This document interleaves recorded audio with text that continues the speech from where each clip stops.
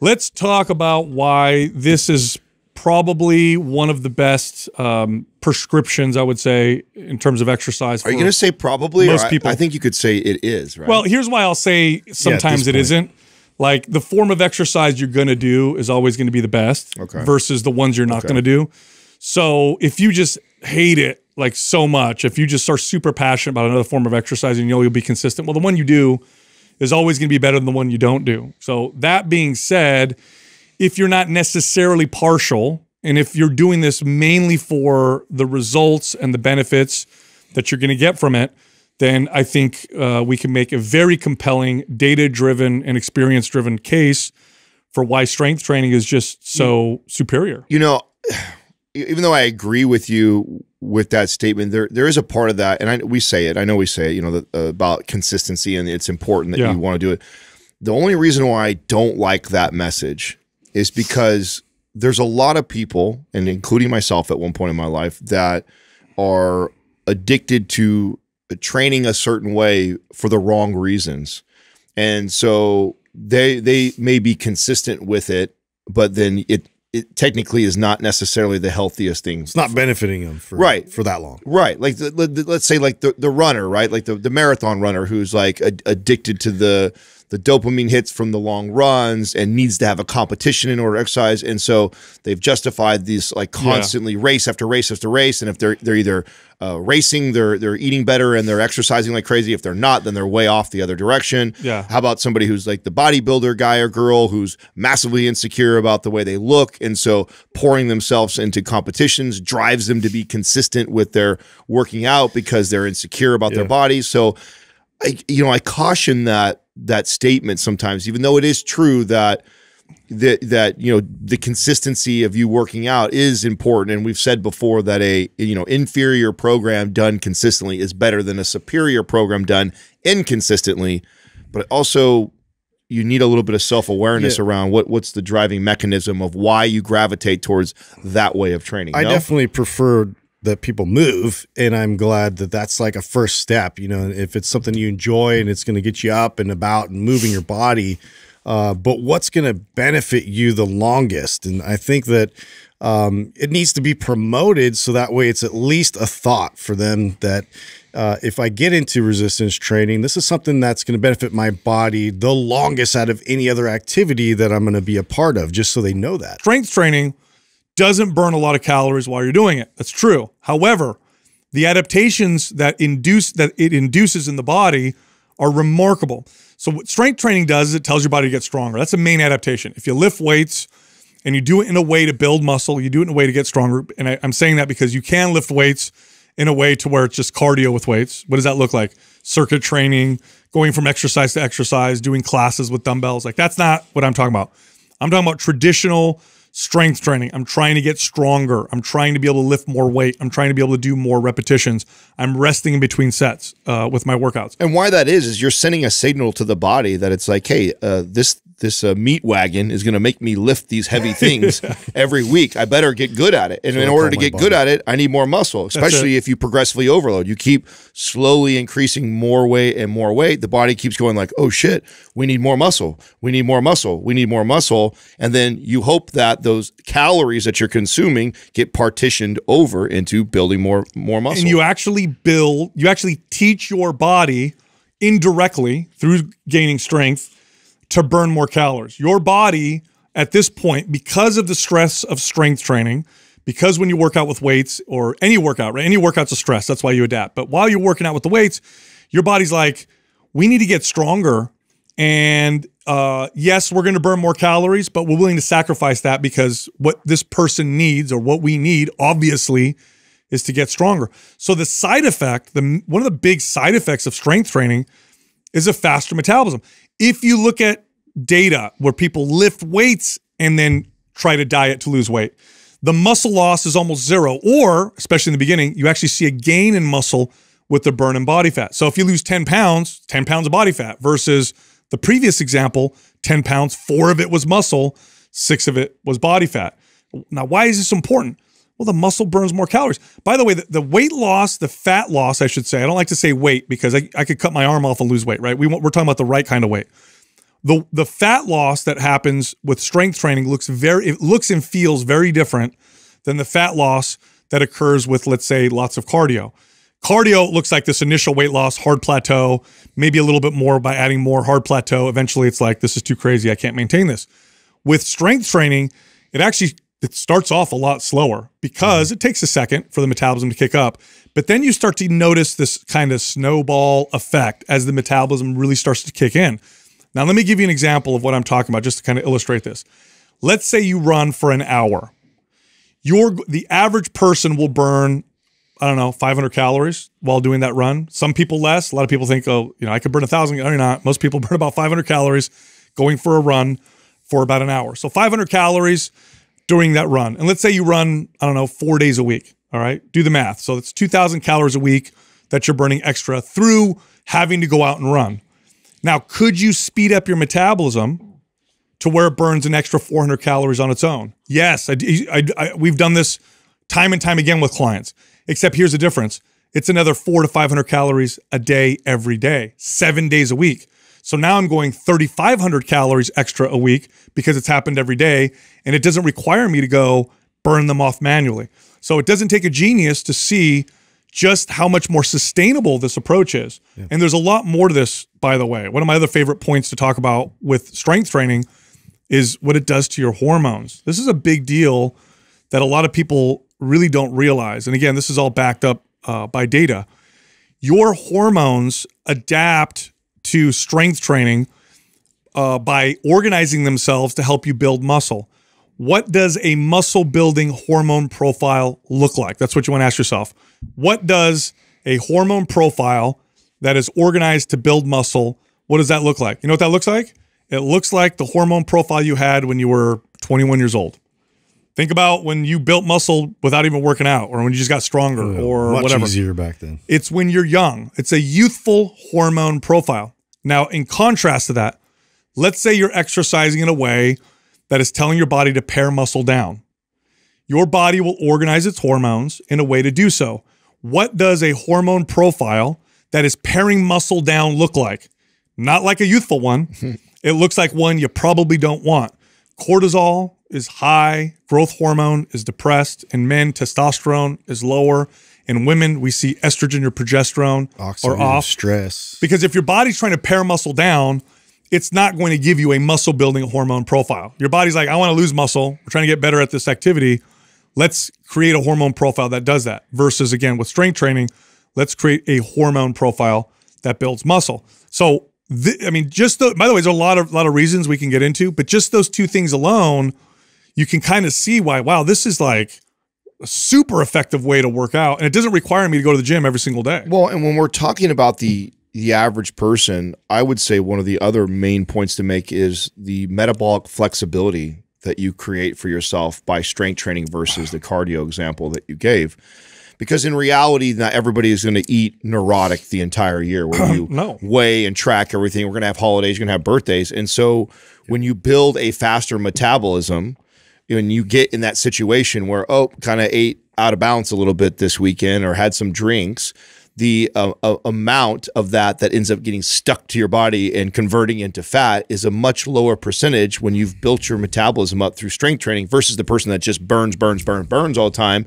Those same people are the people that feel like, man, if I eat off my diet just the slightest bit, and it, it just sticks to me. Ever had a client tell you that where they're yeah. like, mm-hmm. man, Adam, I feel like I eat really, really good, but then I just, and that's because their metabolism is so slow that the percentage of a you know Snickers bar that's 300 calories is a large percentage of their total ma calorie maintenance. And so if we can get that caloric maintenance up by strength training, then when you have those mishaps, when you have those days where you eat off the diet, 300 calories is a much smaller percentage of your calorie maintenance. Totally. So you don't put on as much body fat. Totally. And I, and I want to be very clear all forms of exercise have value. So I don't want to turn this into a like, don't do anything else type mm. of deal. All I'm saying is, if you're being realistic with yourself and you're going to work out two or three days a week consistently because you're not a fitness fanatic, you probably just want to pick the one that's the most effective. And, and most people are not going to do two or three or four different forms of exercise. They don't have the time. They don't want to make the time. They're going to pick one. But just to just to hammer this home even more. This is all, by the way, this is all backed up by data, not just our experience, although we experience this time and time again managing gyms and training clients. But there was this this just remarkable study. I've brought up so many times on our podcast. But scientists went and studied a modern hunter-gatherer tribe known as the Hadza tribe. So they live the way humans lived, you know, pre-agricultural revolution. Okay. They hunt and they gather. And for all intents and purposes, they are far more active than the average Western couch potato. So uh, just to kind of explain what they do, like gathering requires movement. Even when they sit, they sit actively in a squat. When they hunt, they'll stalk prey, throw something at it. It gets hit, then they chase it down till it bleeds out or, or gets exhausted. Then they drag it back. Like they're moving a lot. And so scientists went down and said, we wonder how many calories these tribes people are burning. And they did this really sophisticated testing. And what they found was that the modern Hadza tribes people burned on an individual basis right around the same amount of calories as the average Western couch potato. So John, who drives to work, sits at a desk, comes home, takes, you know, 3,000 steps a day, watches TV, burns right around the same amount of calories or similar amount of calories to the Hadza tribesman who's hunting and gathering and has no electronics and isn't watching TV and all that stuff. And you think, well, how's that possible? Mm. Well, here's why. We evolved, our metabolisms evolved Body adapted. to become efficient with that kind of activity because tribes people, lot, lots of their activity is this cardio based type activity. Why is that the case? Because if our bodies uh, allowed us to burn 6,000 calories a day through activity, we would we would have never survived. Mm -hmm. You know how hard it is to come across energy and calories in nature? So our bodies adapt. Strength training is the reverse of that. It's the form of exercise for the modern lifestyle because the modern person doesn't eat a hunter gatherer diet, yeah. doesn't move all the time. We have food everywhere.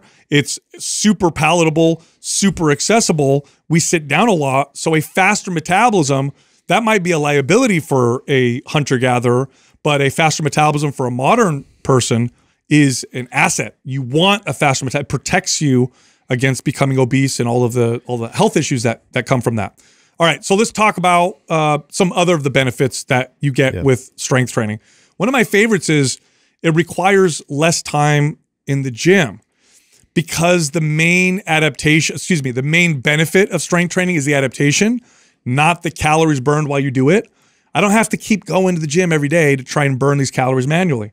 All I got to do is effectively send this good, effective, muscle building, metabolism boosting signal, and then allow the adaptations to occur. The adaptations don't happen during the workout, they happen after the workout, in between the workouts, during the recovery period. So the average person can very effectively affect muscle building, strength, and metabolism through working out two days a week or three days a week. When the main you know value of your exercise is calories burned while you do it. When you don't do it there's no value. You got to do it all the time which makes it very very hard to stay consistent. Well and i want to go back to the point you made earlier. We're not advocating for someone not to do other like cardiovascular training not to do yoga right. not to those things. But if, if i'm setting my my goals with my client for 2023 and we're we're planning out the year, I want to start by planning for the the thing that is going to give us the biggest bang for our buck and as little as possible to elicit the most amount of change, which mm -hmm. is that strength training 1 to 2 times a week. It's not a lot to get my clients Now what I know as a coach that my desired outcome is to eventually introduce some cardio, more walking, yoga, maybe some mobility yeah. work, maybe mm -hmm. some meditation. I mean, that is like, that's where we want to go.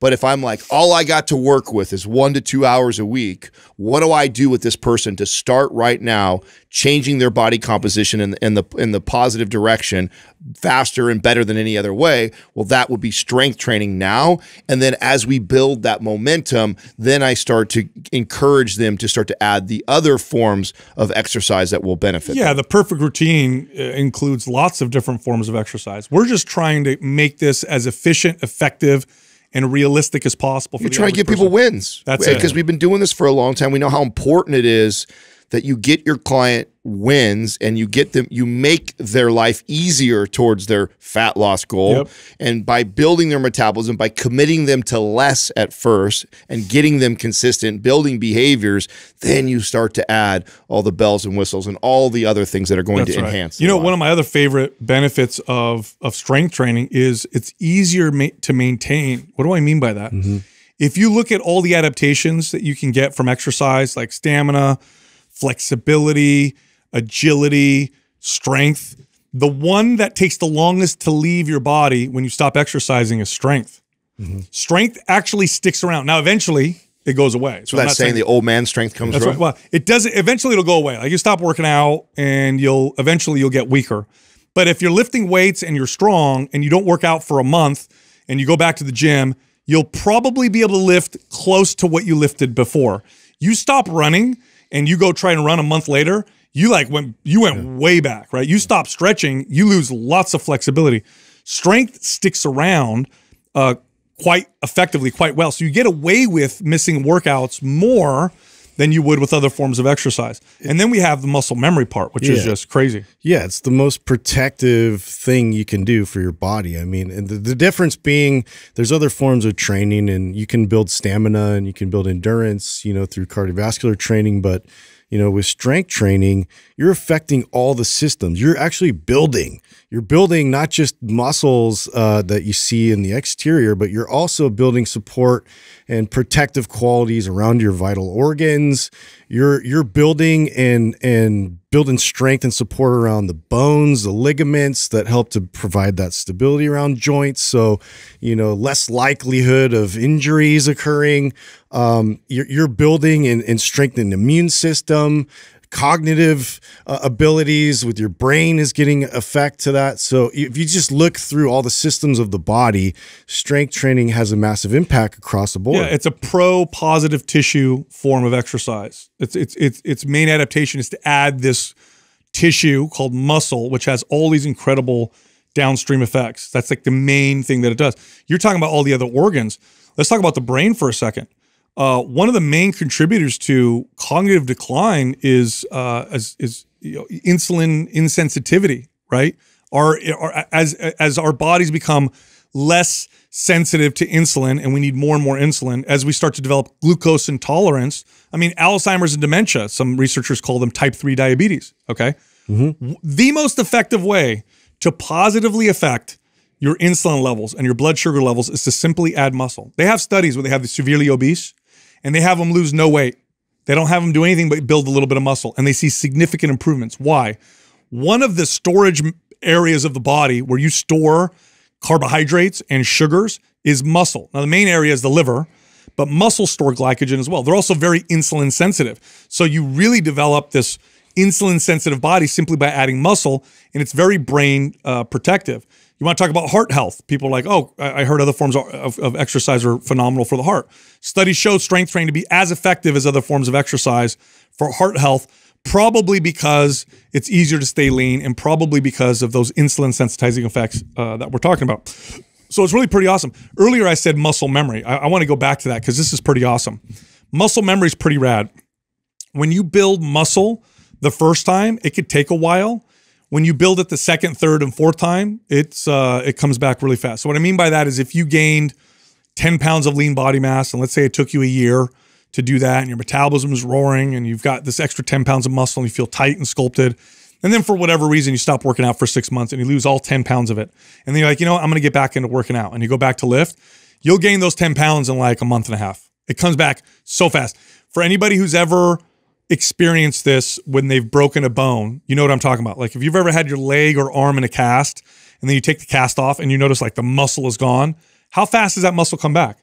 Super fast. This is a- an adaptation, evolutionary, protective mechanism in the body. So when you're working out with weights and you're building muscle, not only is it stick around longer, but it comes back faster when you do lose it. This muscle memory is a very, very real thing.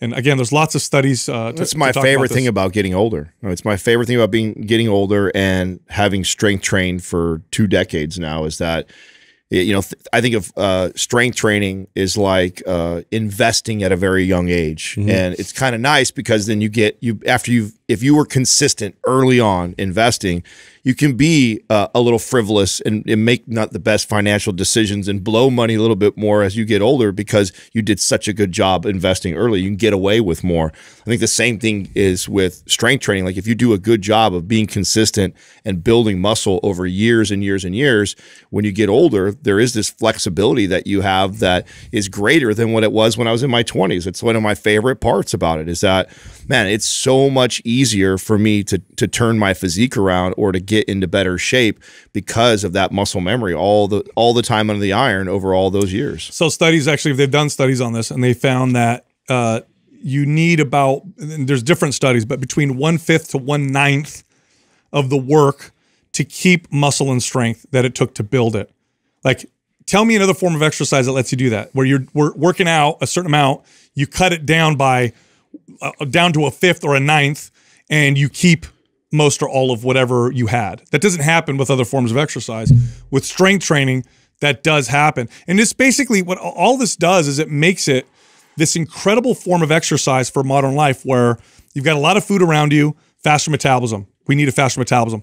Our life is sedentary, which tends to tell our hormones to take a dump. Well, strength training tells our hormones to stay youthful. It it it improves brain health and insulin sensitivity, like diabetes, insulin insensitivity, glucose issues. Like that's a that's another massive epidemic, and it requires less time. It is true that we're extremely sedentary, but it's also true that we're extremely busy. We actually pack our schedules more now than we ever did before, even though we don't move much. In fact, if you have kids, you know this. Like when I was a kid, we'd just go out and play. Now you want your kids to play, you got to schedule appointments for everything. So our day and our, our, our appointments follow us on our phones and emails. So you want a form of exercise you don't have to do a lot of, again, to get a, a massive return. Okay, so now that we've made the case uh, for strength training, hopefully we've convinced you, okay, this is the form of exercise I want to start. Then you're probably wondering, well, okay, what does it look like? How do I start? Do I just go and, you know, just lift heavy stuff? Well, not necessarily. There are exercises that are way more effective than others. There are different rep ranges. Each one of each one of them does different things for you. And then there's an appropriate intensity and an amount of time that you need to work out to give you the best results. And, and we've covered this in depth on other podcasts, but let's we should loosely kind of talk to people about let's start with the best exercises, the best bang for your buck uh, exercises. Your big five, you know what I'm saying? Compound lifts. Yeah, so so compound lifts are otherwise known as gross motor movements. Utilize multiple joints in the body and they're big movements rather than like small movements. So like a small movement would be like a curl, like I'm just mm-hmm. using my elbow. A bigger movement would be like a pull up where I'm I'm not only bending my elbow but I'm also bending my shoulders and I'm also lifting, you know, more weight. So some of the best exercises that just give you like the exercises I'm about to list give you the benefits of like if you took 10 or 15 other exercises and combine them together. So they just give you a lot for, you know, a few sets versus you'd have to take like 5 or 10 other exercises and combine them just to equal what they do. And they're the following. But squatting, so squatting movements they, they can be done with a barbell or body weight or dumbbells, but squatting, overhead pressing, rowing, bench pressing, those are kind of the big the big movements that you want to do. And then you want maybe some rotation in there uh, for balance. Now, of course, there's lots of different strength training exercises. One of the things I love so much about strength training is that it's super individualizable. So you can target sculpt your body if you want to build some areas and shape some areas. And there's lots of exercises for different parts of your body. But those movements right there are the best ones. And you should practice those exercises, or I should say, prioritize those exercises in your workouts. Well, part of what makes them the best is because they they build the most total muscle. Yeah. There's like a, there's a there's this argument in our in our space right now amongst uh, the professionals of like, you know, oh, when I'm trying to build just my quads, squats aren't the best. That there's you know hack squats or leg extensions target the quads better. But when you are when you are trying to build a metabolism and you're trying to set your you're trying to lay a solid foundation, right, long term, what we're talking about in this episode, the value of doing a compound lifts that it, the amount of muscle you build total on your body is so much more than exercises that target one specific. Yeah, well, muscle. look, I could do three sets of squats, which effectively works the quadriceps, the glutes, and the hamstrings. Or I could do three sets of leg extensions for my quads, three sets of leg curls for my hamstrings, and three sets of donkey kickbacks for my glutes.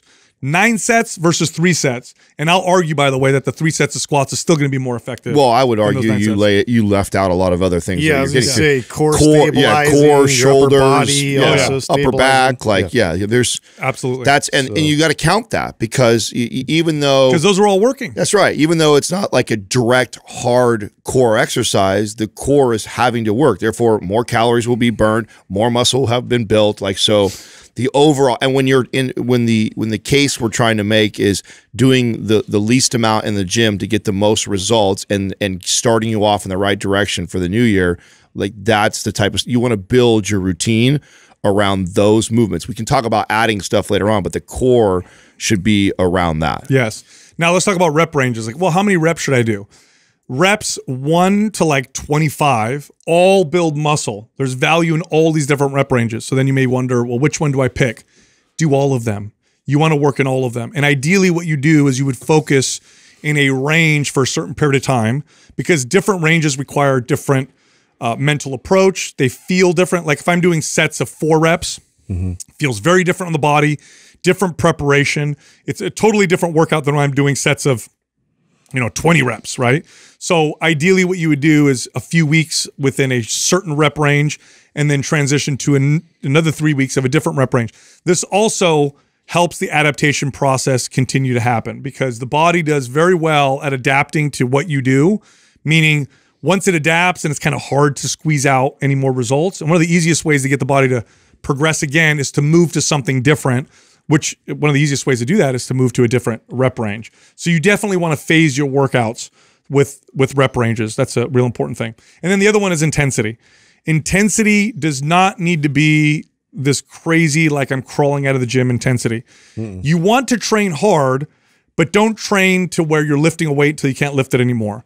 You want to train appropriately. Too intense overcomes your body's ability to adapt. Your body just worries about healing. And then what that looks like, by the way, this is how you know that that's happening to you, is you work out real hard, you get really sore, soreness goes away. You work out really hard, you get sore, soreness goes away. Meanwhile, you're not getting stronger. Meanwhile, you're not building muscle. All your body's doing is healing. There's no adaptation happening.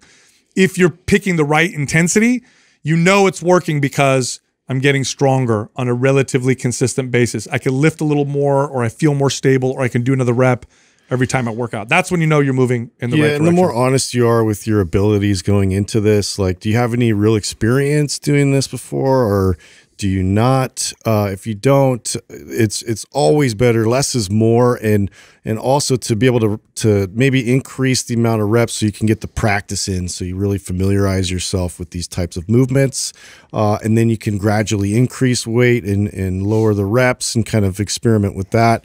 If you're a, a more experienced lifter, if you haven't gone out of a certain rep range in a long time, you know this now's the time to shift it up and and change that so you get a new stimulus, so your body responds uh, appropriately to that. But really to to approach it and and and do that honestly and and and know exactly kind of like where you're starting from. Protein quality doesn't matter. Actually, yes, it does. No, the truth is both are true.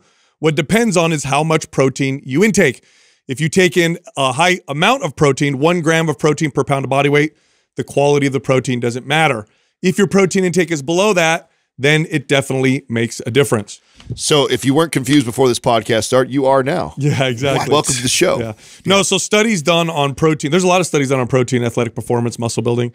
If your protein intake is within what they would consider that optimal range, which is roughly around one gram of protein per pound of body weight in normal weight individuals, then whether it's from plant, egg, whey, animal, like as long as they're complete proteins, doesn't make a difference really. Just gonna But- utilize it all the same. But if it's below that, then it makes a difference. Then if you find, let's say you're eating half that amount of protein or less, well, then animal protein is superior to plant protein. So when I used to train clients, I focused a lot on protein quality because it was almost impossible to get clients to eat, you know, one gram of protein per pound of body weight. But if I was training like a bodybuilder or like a fitness fanatic, I didn't, I didn't care so much about what kind of protein they took in. Now, where does where do amino acid supplementation fit into this? amino acid there's a lot of studies on amino acid uh, uh, intake branched amino acids essential amino acids and it doesn't make a difference if protein intake is high.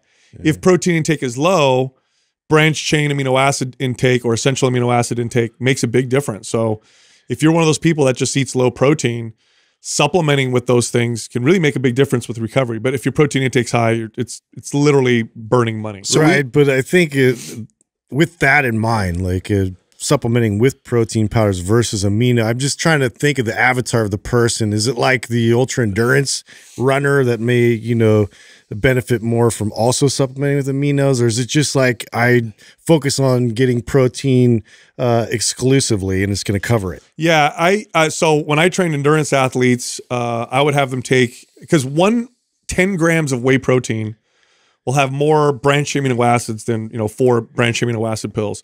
So I would have them do that. Right. But you know who used to benefit the most from amino acid supplements were my vegans because they had a tough. Now, if I could talk them into taking like a vegan protein, like if we had Organifi back then with their you know vegan protein that tastes amazing, I would have been like take Organifi protein. But a lot of them just it was tough for them to get the right amount of protein. Protein supplements back there were terrible. The vegan sources were terrible. They tasted like garbage. They couldn't take whey because it was animal sourced. Yeah. So I'd have them supplement with essential amino acids or branched amino acids. They would notice a difference. But their intake was slow, you know? So is this is it still a thing that in some gyms and bodybuilders will still kind of sip on their amino drinks in between sets and whatnot? Is it like Waste. Yeah. Yeah, that, that's still especially for that group because that group ain't missing their protein intake. No, you know they're not they're not they're not missing their protein. Now, when I was at, when I was in my early twenties, I used to take uh, branched chain amino acid pills, like six to eight of these things at night, and I used to do it when I you know either you know knew for sure or had a feeling I didn't hit my my protein intake.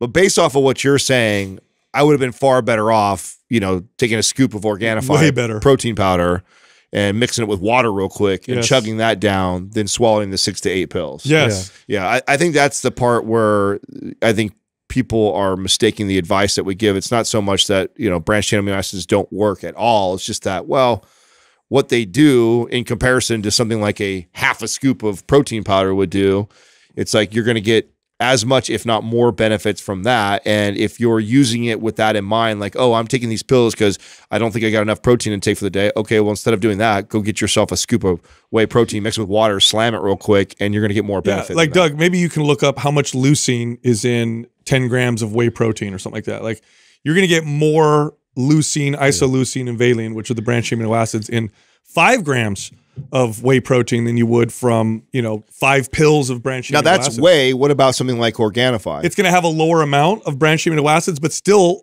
a lot because they're complete proteins. You know, so you're looking at 10 grams of protein from plant-based proteins. You're still going to get two or three grams of of branched amino acids in there, which would be a lot of pills, right? So Yeah. and and all the other essential amino acids, which also have benefit, and then the non-essential ones, which if your protein intake is not at that optimal rate, like all the amino acids make a difference. So 11% of uh, of whey would be leucine. So that's you know that's that's a that's a lot, right? Yeah. So people, yeah, like I, I remember one person in particular was a friend of mine. We would do jujitsu together. He was a vegan, and you know we were talking about this once, and I would tell him about protein, and he goes, "Well, I don't like, you know, all the protein powders that are vegan taste disgusting." You know, he's like one of those guys that just, uh, you know, people are super fitness fanatics. We tend to like not care about the taste of stuff. But he's like, they're gross. Like, and, and I was, you know, we're talking about his diet, and I figured, oh, he's probably only eating like 60 grams of protein a day. He's a 200 and something pound guy. So I said, take branched amino acid pills before and after jujitsu and see if you notice a difference. And he's like, bro, game changer. Now, he would have noticed way more of a game changing, you know, uh, effect if he just took, the protein powder. yeah, protein powder. Yeah. Uh, but yeah, protein quality, it, it- it mattered to the clients that I trained because getting the, a client to eat one gram of protein per pound of body weight was like, it was so hard. It was so hard to do because it was so satiety producing and people don't realize how hard it is. You know, even 130 grams of protein, uh, you know, for somebody who's 150 pounds, that's a lot of protein. I guess you could make the case then for somebody who is an athlete. like I, I'm thinking back to when I was playing basketball a lot and lifting weights and struggling to build muscle, that I probably would have benefited from taking the branched chain amino acids before and after the workout, knowing that 60% of the time Yep. um, I'm only hitting my protein intake. And so, sure, you know, half the time I'm taking it and it's not really doing anything for me, but at least I'm getting it on the other half of the time when I'm I'm definitely low, and so there's Yep. some there would be some value there because I guess that's the case uh, where I see and This I is why a lot of people see value when they supplement with it. right, and I see and I understand too the idea of you know consistently taking something so you you get in the routine and habit. So okay, good, you hit your protein intake. Yeah, I'm kind of wasting money by just taking these six to eight pills today, but I'm staying in the routine of doing that because I know overall. I tend to miss consistently, and so then there's there's some Well, what's there. easier? You you know, you guys trained lots of people like I did. Like, what's easier, getting someone to take, you know, five pills before their workouts, or get hit their protein intake targets? Five pills. Yeah. Yeah, so yeah. this is why so many people are like, "Oh, I see the studies." That's why on- it's such a big market. That's why it I sells know. so much. exactly. Yeah. It works because people don't hit their protein. But if you hit your protein targets, Then it's a waste. total waste of money. Speaking of nasty stuff, this is a bit of an aside to that, but it reminded me of uh, when we used to play in the AND1 tournaments. this, this is like a long time ago. The very first, you know, three on three tournament. This is where they rolled out the the first version of Power Bar, and so they like cut it oh, up and they're ha- handing it out as like samples. And dude, that was so disgusting. And it was like a it, it was like a little brick, and it was just like tasted like cardboard basically. But like that was like the big hype and everything. It was like apple cinnamon, and you know, it was supposed to be like get you protein and get you all these nutrients and everything to to you know fuel your your performance and your gain. And uh, I just was remembering like, wow, like this is this is fucking. That's awful. got to be Who owns Power Bar? yeah. Sorry, that that's random- got to be the the, uh, the first mainstream Gatorade, maybe. energy bar Yeah. or the first mainstream. That's right. like- They market it as an energy bar. Yeah, it was like the first mainstream like like meal replacement slash energy bar slash protein. Who owns bar. them, Doug? Looks like Post, like the Oh, the yeah. cereal Oh, like brand. Post Oh, oh cereal. Oh, cereal. yeah. They didn't own them originally. They probably Oh, bought 'em. Nestle, Nestle. Of course, Oh, Nestle. yeah, there you go. I so I used to eat power bars, which were mostly carbs, anything like eight grams of protein, if I'm not mistaken. Maybe look it up the macros. I wonder if they change them. But I used to eat power bars as a kid because There's still 10 grams of protein. it was a supplement. they do make, they actually, Power They Bar a makes a protein now. 20 gram one. They do have a higher one. They still have their original 10 gram ones, I think. Yeah, they were like sweaty. Yeah. Remember? They, you, know, you know what I'm talking about? they were so oh, the chewy. It was just like, man, they've come so far. Like now you get like Quest bars. Now, okay. tastes like cake. Okay, that being said, though, I I trust what's that it's better for you than some of these bars. Like the nutrients are probably actually in there. Yes, Yeah. like that's. I feel like you know what it probably had what it said it had in there. Where a lot of these bars now are like glorified candy bars. Do you want to know? what- You Totally. want, you want candy know, bar with some protein in it? Bro, I had an aha moment when I was, uh, I want to say 15 or 16, when I started to learn about macros and stuff like that a little bit on my own. And then there was, uh, I was watching the World's Strongest Man, Mario, Mario's uh, Pudzianowski. I don't know if you guys know who that guy was. He won a couple tournaments. Looked like a bodybuilder, so he didn't look like a strong man. Looked like a bodybuilder. And and they had listed his diet, and he ate like I want to say like five or six Snickers bars a day. and I remember being like, he eats all that candy. What the hell? And then I remember like I got a Snickers bar and I got a Power bar. Yeah. And I It's like compared the them. same and I was like, yeah. well, it's, it's almost the same. Man, Yeah. you got And I was that- like, I'm just gonna eat Snickers. You, bars. you figured that out. It took me till I was in my twenties. question about macros, um, specifically about which macro uh, I should I could I should focus on cutting out of my diet first when going into a calorie deficit or or cutting phase. Uh, I've been in a been in a bulk for I, guess or or a, a calorie surplus for about six months now. Um, put on roughly about eight pounds, maybe. Uh, looking to cut about five percent of body fat. Um, get from fifteen to ten. Um, I hear a lot of things on the internet, uh, read a lot of things. Um, I just wanted to, you know, I, I trust you guys, and I wanted to see what what your guys' uh, take on um, on that that was. Any idea where you're at right now as far as your macro breakdown, total calories? So I'm um, I'm about 39, about 3,900 uh, calories, uh, about 250 on protein, um, one 120 in fats, and about four 450 ish. I think um, if I don't have the numbers right in front of me, but I think it's about 450 in carbs. Nice. Um, yeah, that's what I'm saying. And I, I weigh uh, two 205 was the last time I weighed in um, uh, Monday. Uh, that that's I mean that's, Yeah. that's Sounds for me it feels kind of easy. I cut from carbs. Yeah. Your fat is fine. Uh, I mean you can cut fat too, but the fat's already 120 at that many calories is, I wouldn't cut it that yeah, much. I wouldn't cut fats too much. You can cut a little bit, but I do it mostly from carbs. Here's the thing about carbs: um, they do feel good workouts. They do help contribute to the pump. They can help contribute to muscle growth, just like all the macros can. But carbohydrates are not essential. So we have the most flexibility with carbohydrates. What that means is you could go zero carbs. I'm not saying that's where you should go, but you could go zero carbs and you would still get all the essentials you need from your food. But Adam asked the right question, which was wh- wh- what numbers you're at now. Now, if you told us that you're eating 100 grams of carbs, uh, but your fat was, you know, 200 and something grams, then I'd say we could probably cut from your your fat. But your fat's okay, 120 grams of fat.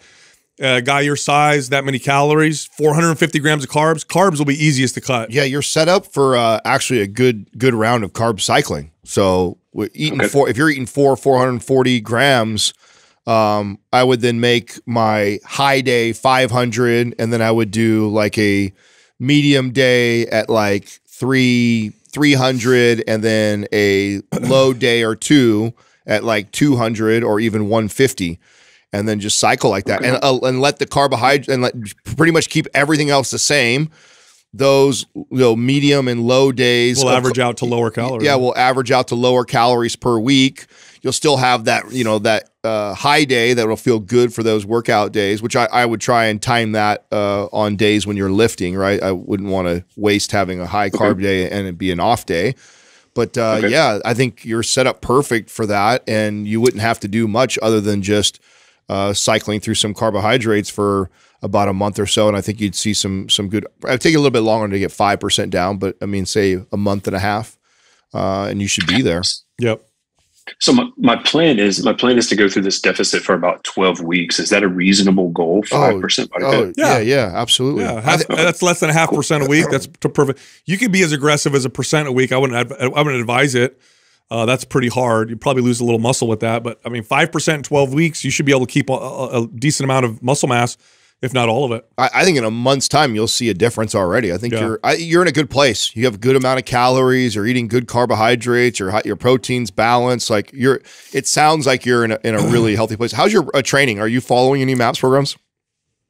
No, sir, I'm not. I, and actually, I just I just got an email on the uh, MAPS um, anabolic advanced, and Yeah. I'm really I'm really tooling about um, uh, get into that. So- Um, just been kind of doing my own thing. Um, just kind of being a student of of the nutrition and the the programming part, and just trying to trying to learn my thing as well. Uh, but I'm really giving a hard consideration on the um, Give anabolic. give me a typical give me a typical lifting week. So um, I'm breaking it down into a, uh push pull leg um, lower body um, day.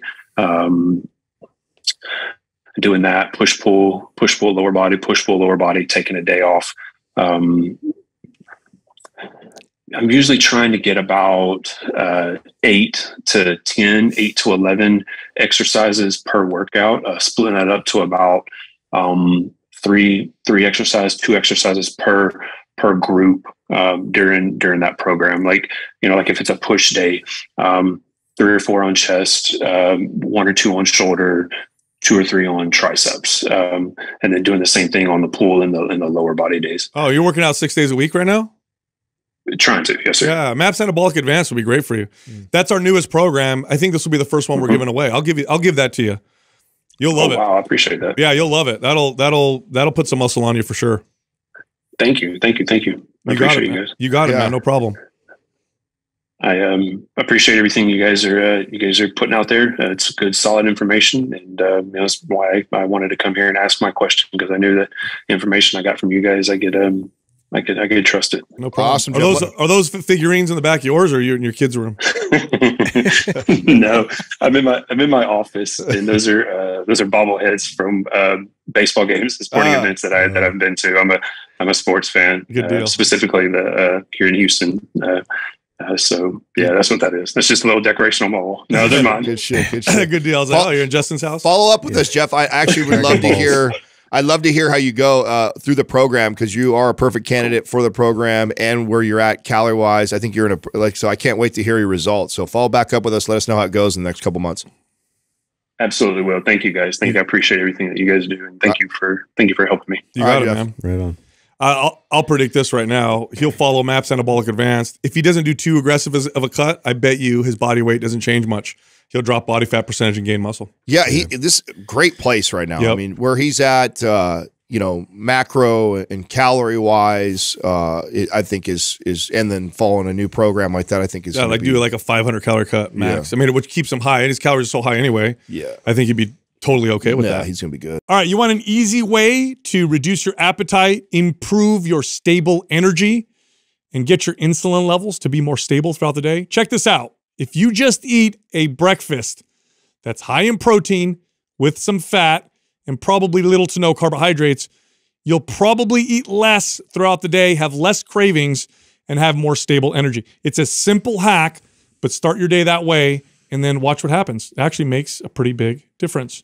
Eat your meat. Yeah, you know, I like I like stuff like this because it works with your behaviors rather than it forcing you to follow like some kind of plan. Like Yeah. it's like okay, you're gonna eat breakfast anyway. You're going to adhere to that a Yeah, lot more eat effectively. like eat like a you know a three egg scrambled with a little bit of meat with it and some vegetables.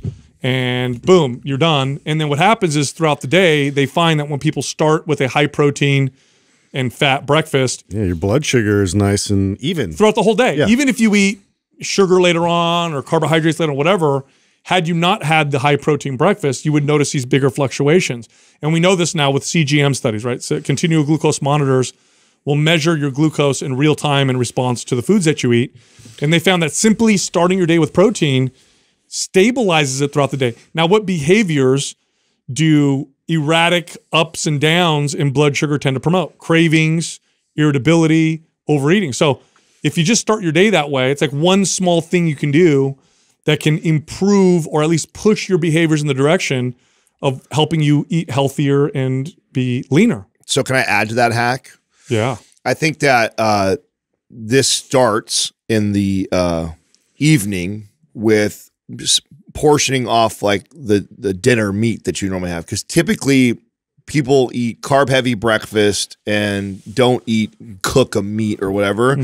And because that part is a little time consuming and most of us have a a main course uh, dinner that's centered around some sort of a meat is I would just and I, we have these little tiny like Tupperware things is I would Tupperware off like four ounces. And that goes with your eggs. yeah and then in the morning all I have to do is crack you know two or three eggs depending on how big of a breakfast you want with that meat and just Scramble scramble, it it, and then we throw a little sprinkle a little an ounce of cheese over the top of it and now you've got this killer scramble and it was super fast and easy So I, I make breakfast most mornings for for Jessica, and uh, that's exactly what I do. So um, like the other night, we had uh, Butcher Box Tri-Tip. So um, Butcher Box company we work with, they deliver like grass-fed meats to your door, and we always get Tri-Tips. It's like my favorite cut from them because they're really versatile. I do the the cast iron skillet on both sides, put it in the oven, really easy. If you season it well, it's really tasty. And so I'll have some left over, and I'll serve her every morning um, two scrambled eggs with cheese and probably two ounces or three ounces of tri tip.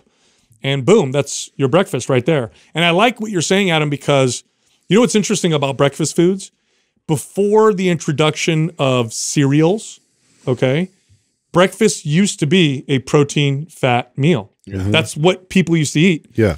And then the invention of cereals came along, which, by the way, some of the first cereals, people don't know this people don't know this. The one of the first cereals uh, invented or marketed was uh, cornflakes. Kellogg's, Kellogg's cornflakes. Wasn't he Was trying there- to solve like Yeah. some kind of um, masturbation problem? He advertised I'm serious. it. It I'm prevented serious. masturbation. So it's Yes. like, oh, eat this in the morning. Was Go- that go the story? I, heard- I knew it was That's like a true. weird, a weird story that went behind it. That it, he was trying. Okay, explain how making a cereal prevents Oh, I can't ex- masturbation. I don't think there's anything that I can explain. I think it was all he just said that. yeah, that's how he's. I don't know if it, marketing happened to him. He's like, man, when I eat this, because then he feels tired. I don't want to do that anymore. I don't know. I, I have no idea. Doug, Uh, do you but- remember that story? I yeah, I'm looking it up here. Um, I'm trying to fact check it. We have, we have on the show. It before. says mostly false, but again, as Snopes, so I don't know if I can. No, no, no. Look not. up cornflakes prevents masturbation. Uh, just do that, and then you'll read.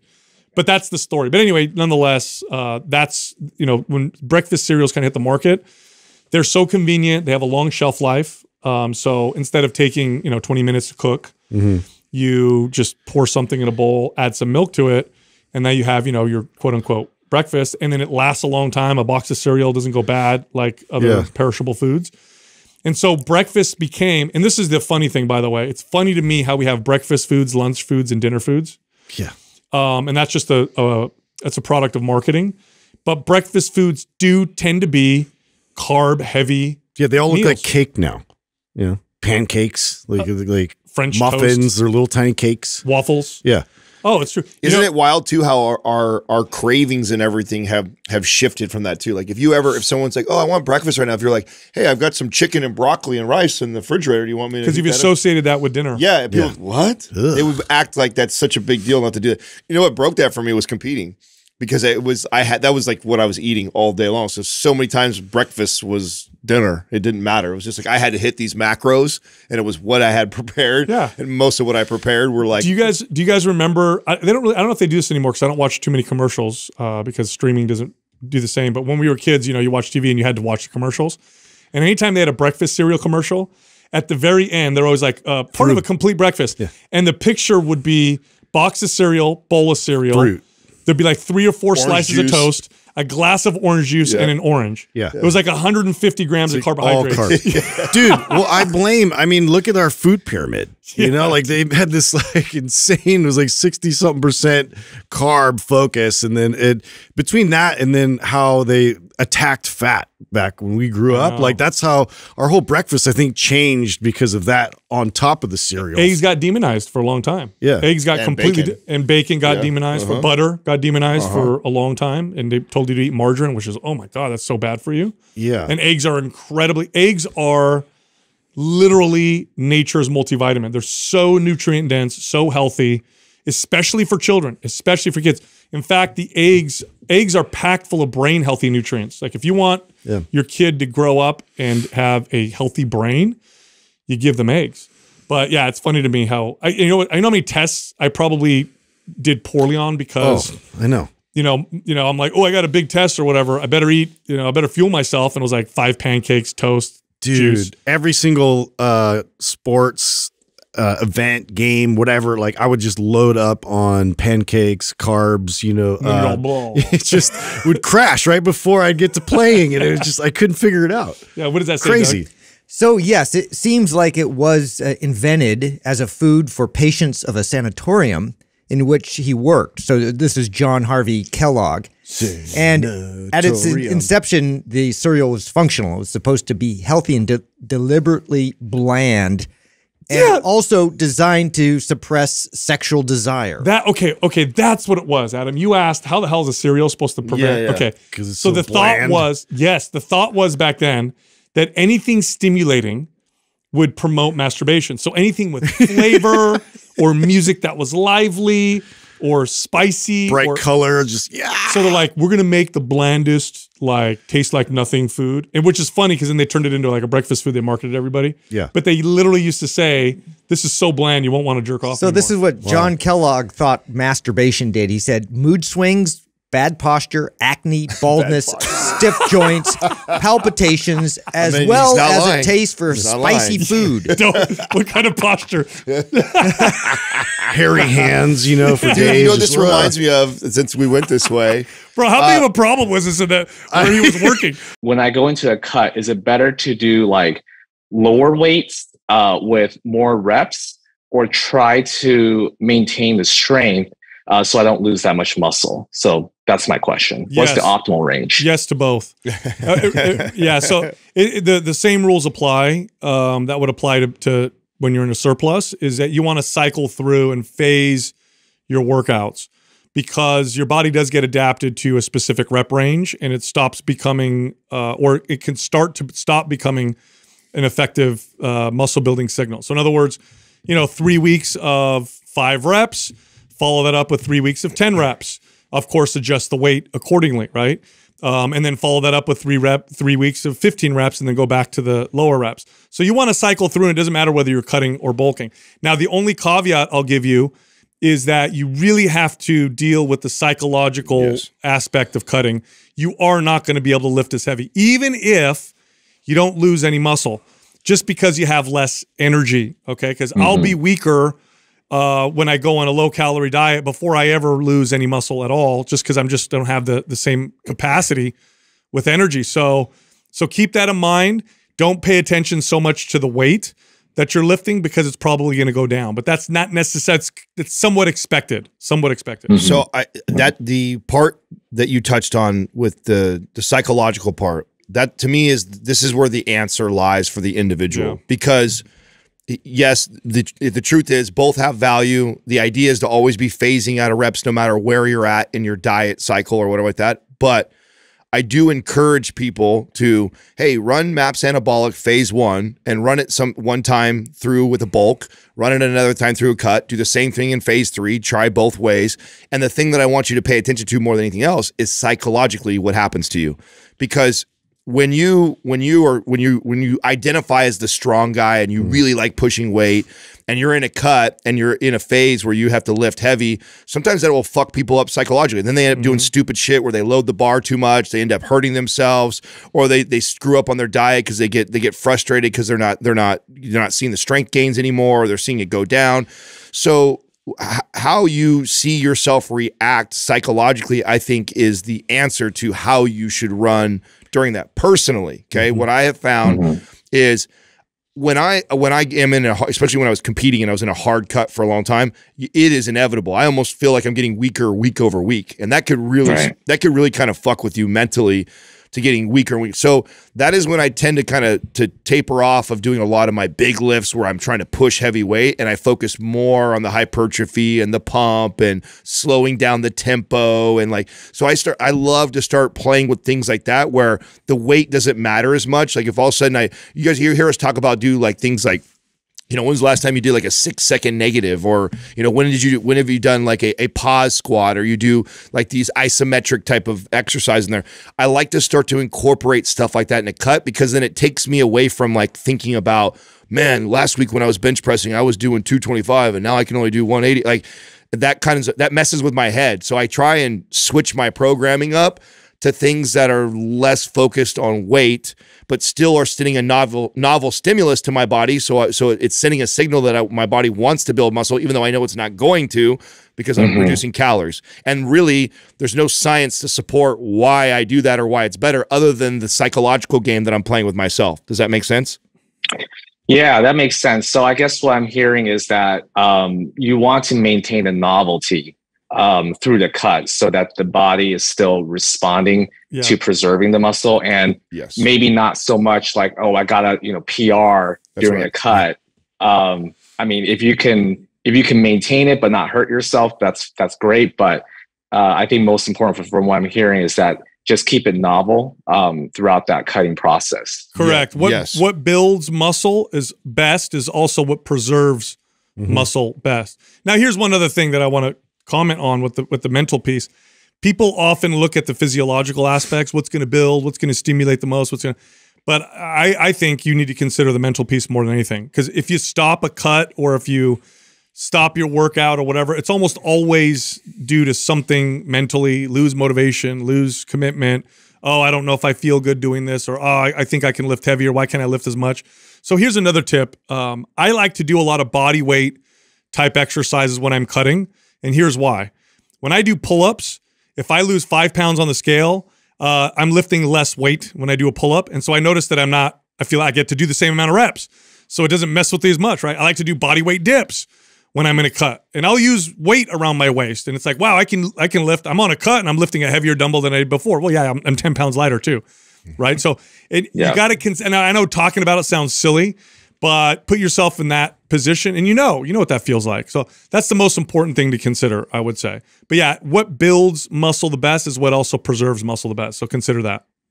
Great, great. All right. Thanks, guys. You got it, man. Thanks, Richard.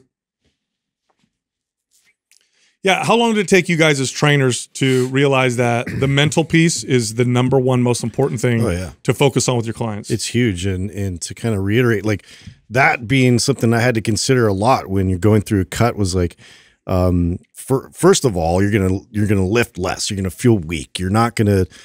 It's not going to be the same experience, Yeah. I think. And so going through, I think, and revisiting it with a different mentality towards it was huge for me. So it was like, uh, not necessarily avoiding it because also too that was one of the best ways for me to preserve muscle which was like uh, I, I used to take it all on at once. So being an athlete like if i'm in a cut i wanted to do the most extreme like cardiovascular like crazy circuit or like whatever i could do to like kind of punish my way to get there.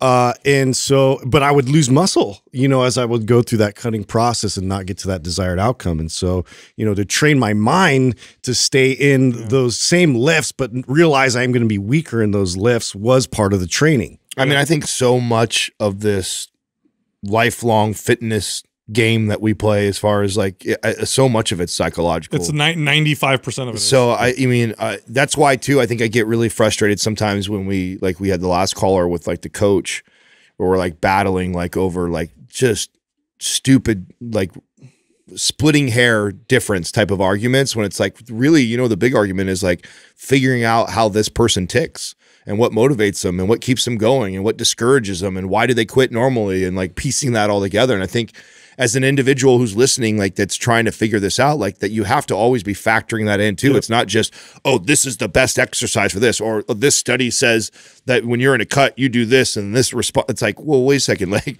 that only that only applies if you're perfect about following everything to a T, which I've yet to meet anybody who's like that. Yeah, most people, impossible. yeah, most people are inconsistent. Most people fall off. Most people get discouraged, and so it's like you got to factor all those things in when you make decisions like this. And so I, I just learned over time that man, when I was cutting, because I have this issue with building muscle and I used to think that my muscle would fall off my body.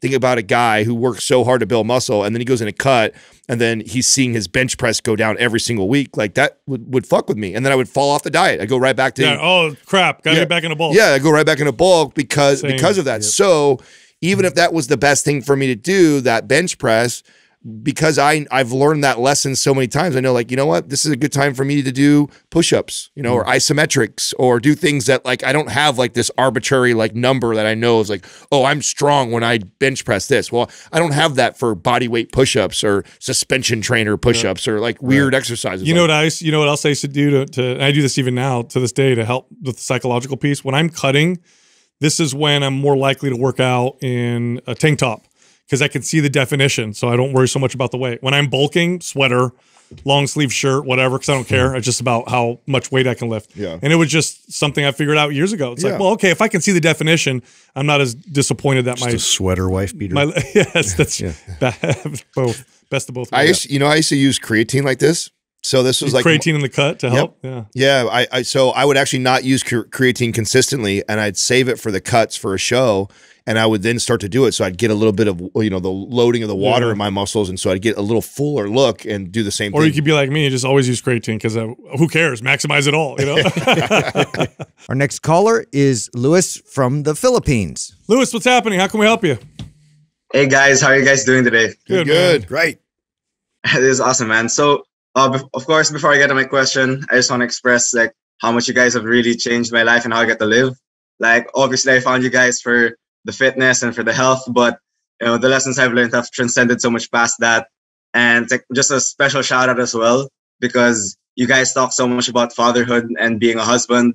And even for as young as I am, uh, I think that I'm really learning things that I do hope to apply in the future if ever I am lucky enough to become a father as well. So awesome. the rabbit hole I've really jumped into ever since listening to you guys have really been a blessing. So thank you guys. Good man. Good thank man. you. That's thank great, you, man yeah, a lot more consp- conspiracy theories as well after listening to you guys. yeah. so, but I'm gonna get to my question. Uh, so I'm 21 years old, and I'm a graduating engineering student, and I'm about to enter five months of uh, very heavy review classes for my upcoming licensure exams or board exams. So to give you guys some perspective on that, uh, these review classes are about five days a week of lectures and uh, practice exams. But beyond that, people generally do study all day, every day for five months straight. And a lot of my upperclassmen have warned me that this kind of becomes your life. Uh, not, no real choice there. And it can be very difficult to balance other things with the workload and amount of topics that's necessary for us. So, uh, with this, I've been consistently training for about two years now. And over the past year, I've ran anabolic twice and I went on to performance and I actually just ended aesthetics a while ago. And Um, my original goal, or my original plan rather, was to get power lift because uh, I really just wanted to focus uh, on getting as strong as possible. But now I'm not quite sure if this temporary shift in lifestyle and a whole lot of added stress from the review classes would be complemented by a program so focused on percentages and maxing out for a competition. Uh, but that being said, I'm definitely not looking to compete in anything. I just want to get as strong as possible. But my question is, how should I change my training and nutrition in what's probably going to be the most stressful five months of my life so far? And is it still realistic to focus solely on strength, or should I just look to maintain general health for now? What a Great- great question. Great question. Yeah, Maps, very Maps well. 15 though, for sure. That's it. Maps 15. When when do you start this period of five months of, of uh, study? When does it start? Uh, January, January 4. Oh, January Mm, 1st. Okay, so up until then, you can train like you normally are. Um, but once you get there, Maps 15 would be the perfect program for you. You're absolutely right. The the the the stress, because your body, um, yes, there's different kinds of stresses, but they do all accumulate. So mental and emotional stress can definitely accumulate and take away from your body's ability to handle physical stress. And if you throw too much physical stress on your body during that period of time, you're going to suffer uh, both physically and even mentally. So it could actually hurt your ability to do things like study, take tests. You'll notice your sleep will get worse, and then it kind of becomes this downward spiral. MAPS 15 would be absolutely perfect because you get to be active every single day. There's still a good strength focus on it. Um, and it's easy to stay consistent, and it should not take away from your ability to do uh, what you're doing with your with your studies for the net for for that five month period. Do you have MAPS 15?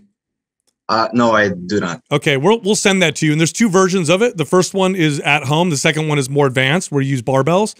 With your experience, if going to the gym or is not an issue for you, or you have a barbell uh, accessible uh, at home, I would say go with the advanced version, just because of your experience. Now, after that, after you're done with your your study and you can get to more of a normal life, then I would go to Maps Powerlift.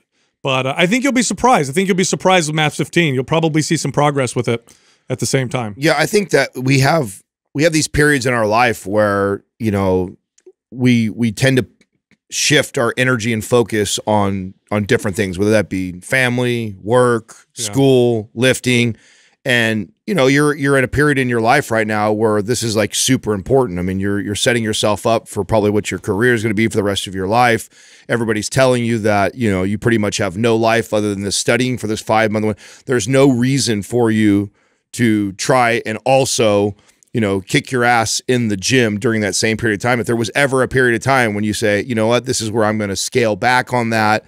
Do what i need to do to maintain because i care about health. I want energy. I want mental clarity. I want to be strong. And so you don't just write it off and say fuck it. Don't do anything and just eat like shit. And because that's that will actually impede on your learning and actually you being productive at your school. So you want it to complement this new area that you're going to be like doubling and tripling down on, which is the school. And so MAP 15, in my opinion, is perfect for something like that, where you know you're going to be heavily focused on the studying part, and then you're just going to get in there, get your little 15 minute workout. And I tell you what, like you still could potentially build and see good results during that time because You you're could move actually forward, Yeah. yeah. you're actually working with your body instead of against it, like most people would do in this situation. Lewis, I have a, a couple questions for you because I'd like to make some, uh, give you some advice for nutrition and then some additional exercise advice. Have you ever tried uh, like a ketogenic diet or really low carbohydrate diet to see how it affects you mentally? Uh, no, I've never, I've never done low carb or anything like that. Okay, so for some people, now for some people this is the opposite. You have a little bit of time though because you have till you know uh, the beginning of January. See if you can get yourself into ketosis. So go low carbohydrate, no carbohydrates, high fat, high protein. Make sure you eat enough sodium. A lot of people make a mistake when they do this because you lose a lot of water. So make sure you have a decent amount of sodium in your diet and see if you notice improvements in your cognitive function. If you do, that would be the diet that I would recommend during that period of time. Now, I notice improvements in cognitive function. So if I had to go through a five month period where I'm going to be testing my mental acuity, mm-hmm. my ability to remember things, that kind of stuff, I would do a ketogenic diet. You have some time to experiment. It would probably take you about three, four days to get into ketosis and maybe three, four days to adjust after that. So you're looking at a week or two. And then you'll know, like, oh, I feel better or I feel worse, and then go back to how you were. Yeah, you if know, anything, it's it's a valuable tool. If you go through that process, you realize it does help with your mental clarity, your sharpness. Uh, to use that to kind of prep in towards like a big test or like you know something like that where you're going to need that extra bit of performance cognitively so you know that's just something cool to consider that uh, you know we can we can manipulate these things and find out what works best for our body for very specific needs so i i, I do i i uh, uh, uh, piggyback on that Yeah. Now the other the other thing I would say with act with activity is okay. Let's say you follow Maps 15, and you're doing 15 to 20 minute workout every single day. Then the rest of the day you're sitting down and you're studying. Make sure every 40 minutes or so you stand up and you do about a minute, one minute of activity. So it could be standing squats, it could be band presses, it could be push ups, it could be a walk. But studies show that interrupting your your that long periods of sitting every 40 to 60 minutes or so improves your ability to learn, improves your ability to retain information, and it keeps you sharp. So so again, every 40 minutes or every 60 minutes, stand up, give yourself 60 seconds of something, and then sit back down. And you'll find that you'll be a lot better. Uh, you'll be able to remember things and be able to do a lot better with your mental tasks. Alright, that's awesome, guys. I'll- I'll definitely try and do that. But is, is that something I can just jump right into, or is that Yeah. something I have to kind of transition to? No, no, no, no. You do it now. If you're sitting down for longer than an hour, stand up literally 60 seconds. In fact, I just pulled up a study that I'm going to talk about um, in one of our episodes that showed that this makes a significant imp- improvement in a person's ability to retain information. Literally, you stand up and for 60 seconds, it doesn't have to be a hard workout. You just move. So you do 60, you do 60 seconds of stretching or standing squats or some push-ups You or can walk around the block. you go for a walk and then come right back. Um, that makes a huge difference uh, with your ability to learn and, and retain information. Um, and even creativity. They actually show improved creativity as well. Do you have MAPS 15, by the way? Uh, no, I do not. What about MAPS Powerlift? Uh, no, I don't either. All right, I'll send you MAPS 15, okay? After that, after you're done with your five months of study, then I think you can get into MAPS Power. But I'll send you MAPS 15 right now. That's awesome. Thank you guys so much, man. You got Thanks, it, man. Lewis. Thanks for calling in. thanks for listening I got. I have a, a follow up question if you guys don't mind. Yeah, sure. Right. Alright, so, um, just some context. Like after listening to you guys, I've reverse dieted from eating just above a thousand calories a day to eating around 22 to 2300 calories a day, and I noticed that I've stalled at around this point. And if I go anywhere beyond that, I just see a lot more rapid weight gain, which is not that favorable. Uh, so I was just wondering, uh, is this stall in calories um, a sign that I'm not building as much muscle, or is it just like uh, this is like a threshold that my body can handle right now? Yeah, it's it's a threshold that your current body, with your current level of activity and the current constant context of your life, can handle. We can't infinitely reverse diet, but your lifestyle, your muscle mass, your hormones, your stress, all those things will affect this. So right now, what you're currently doing, that seems to be the the the upper limit. Now, if you change your lifestyle, then that'll change. It can go up or down. And by the way, uh, during this time where we're about to go in this this you know five to six month dark phase of learning, I actually wouldn't stress too much about that. I would eat. I would eat to be healthy. I wouldn't really worry about getting lean, trying to build a bunch of muscle. Like you run MAPS 15, feed yourself accordingly as far as like when you're hungry, eat, make good choices, hit your protein intake. But I really, this is not the time that I would be kind of manipulating that. When you get out of that five to six month phase and go into power lift, then I would try and get you to increase calories and and really get after power that lift. would be a good time to do that. Yeah. and I'm just taking a guess because of what you what you do. Uh, you might be have like a kind of a sedentary lifestyle. Do you have you ever tracked your steps? Like so, if we get into power lift, I might have you like do walking with power lift. What are you doing a day? Do you know? Uh, yeah, I ever since well when when I started listening to you guys, I was doing a lot more cardio. Now I'm just focused on really walking. Uh, so I get around uh ma- around roughly seven thousand steps a day. Right? Uh, okay. Yeah, not bad, but I could easily. So what I would do is when I get into power lift, I would actually increase your calories and then like give you step goals. I'd say, okay, Lewis, first phase of power lift, I want you to do uh, 9,000 to 10,000 steps every day. And I'm going to bump your calories 350 to 500 calories every day. And let's see if the extra moving is enough to make sure we don't put on too much body fat. The surplus of calories helps you build muscle. And I'd try and reverse you like that. That was what, but I'd wait till you're done with your five to six month thing. All right. Thank you guys so much again. You, you All right, got it, man. Thanks for calling in. Happy holidays, guys. Yeah. Yeah. you too, man. Same You to too. you. That's awesome. We got caller from around the world. you know, when when it comes to like um, diet for, I guess, mental performance. I mean, I know for me, if I go uh, a lot of vegetables, well cooked vegetables, high fat, high protein, low to no carbohydrates, I am absolute sharpest. Fasting is even better than that, unfortunately. But the only problem with fasting, you can't fast for obviously forever. But if I did like a 24 hour fast and then you had me have to do some kind of mental performance task, I'm like, I'm on fire. Yeah. So I've identified that, and, and it's it's this is good stuff to know for yourself because your life's going to change, and it's really cool when you can change your diet and your training to improve your life. Yeah, you can adjust things to really benefit wherever you are and whatever season of life you're in or whatever the focus is for performance because performance can be in all kinds of different directions even if it's relationships or something like you know I, I'm I'm focused more on being flexible now because I want to you know build and foster a, a relationship with with more people and so I'm willing to kind of like include maybe some alcohol where I normally wouldn't or Sure. you know what, whatever the case is my only point to that is that um, you know that's something that we can adjust and we can fine tune to be appropriate for wherever you are right now in life. All right, I know you liked that episode. If you did, check this one out.